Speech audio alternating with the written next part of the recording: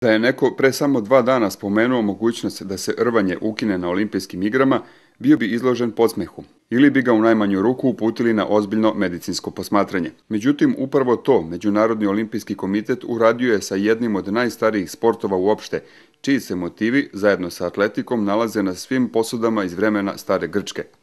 Svetske velesile u ovom sportu, Rusija, Amerika, a naročito Turska i Azerbejdžan, u kojima je ovaj sport pitanje nacionalnog ponosa, uložile su oštar protest i smatraju velikom sramotom da se o ovako nečem uopšte raspravlja. Sličnog su mišljenja i u našem rvačkom klubu Proleter. E, Međunarodni olimpijski komitet koji se sastoje od 15 članova zasedo i došli su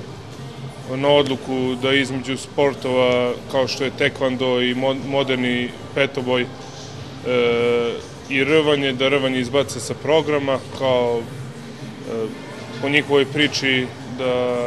rvanje nije dovoljno atraktivno i da nije dovoljno posećeno i mislim, iskreno da kažem, nisu izašli sa direktnim argumentima, to se pominje navodno kroz neke tekstove se provlači. Ne bi da pocenjujem ni jedan sport, ali jednostavno ne može niko da mi dokaže da, da,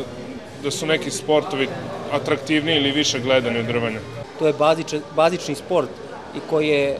rasprostranjen u 180 federacije širom sveta i svakako da je ta vest zaista šokantna za sve ljubitelje rvanja, ali ne samo ljubitelje rvanja, nego ljubitelje pravog sporta. Jer ne bih hteo da vređem niti da pocenjujem bilo koje druge sportove, ali ukoliko treba da uđe uh, roleri, vušu ili ovaj, neki sportovi trambolina, vožnje BMX, BMX-om ili možda sutra poker ili ne znam nija šta, u olimpijske igre, onda to zaista gubi onaj olimpijski sportski duh, a dobija sve više e,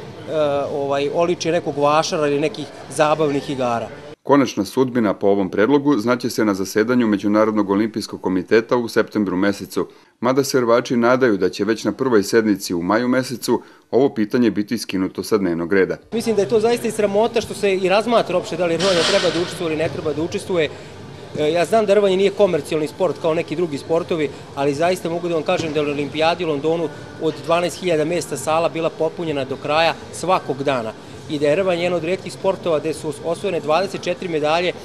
da su zemlje iz 24 zemalja osvojile olimpijsku medalju, što pokazuje zaista da je konkurencija ravnopravna u ovom sportu i da svako može da osvoji medalju. Ja sam pratio i ruske i američke medije i mogu da kažem da se tamo u tim savezima zaista velika prašina digla oko ovoga da su ovaj, zaista i oni zatečenili, da oni su odmah počeli da preduzimaju odgovarajuće mere kako rvanje ne bi izgubilo stacu olimpijskog sporta.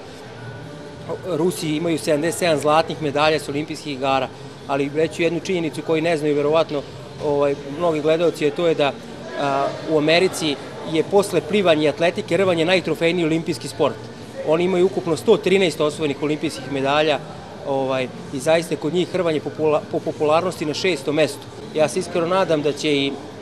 odredica e, da li će Baku ili Istanbul dobiti olimpijske igre zaista uticati i koji će sport biti obzirom da su i u Turskoj i u Azerbejdžanu hrvanje spada u nacionalne sportove i da oni sigurno koliko budu dobili